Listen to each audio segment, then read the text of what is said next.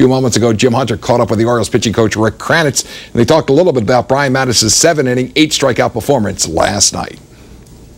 Well, I tell you what, he put it all together last night. I mean, uh, his delivery I thought was uh, exactly where he needed it to be. You know, I mean, he, I mean, that's a carbon copy of, of what he needs to do and, and how his delivery should be every time he goes out. I mean, it was absolutely perfect. Anytime, you know, you, you go out there and you pound the strike zone the way he did, uh, I think he was uh, strike one on 15 consecutive hitters. You know, I mean, he, he had all four of his pitches, and, and usually when that happens and you pitch ahead the way he did, you, the other team's in trouble you know, because now there's it's a guessing game. They, they, don't know what to, they don't know what to look for, and you know he was he was absolutely outstanding.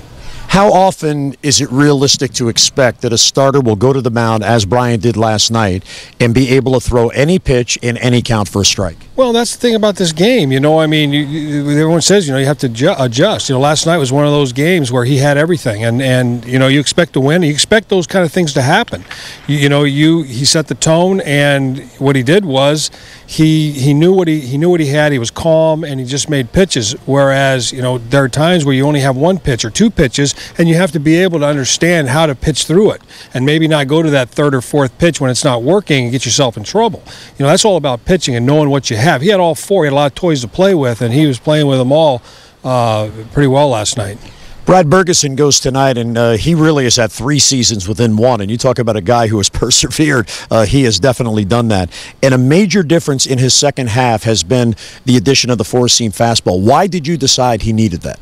Well, I think you know he just changed his delivery and, and changed his arm slot when he threw his, his sinker. You know, and and uh, for his survival, I think he kind of developed that on his own to where he, he saw he started to see some uh, results and he kind of stuck with it. So it was, he kind of evolved. And then you know we had talked about you know he says wow I threw a lot of four seamers and it was just like you know that you there's a different there's a different gear there. And you know sometimes in this game you you you you you uh, stumble onto something uh, and get a little lucky with it. You know, he's found a different gear, and that's great because that's only going to make his sinker better.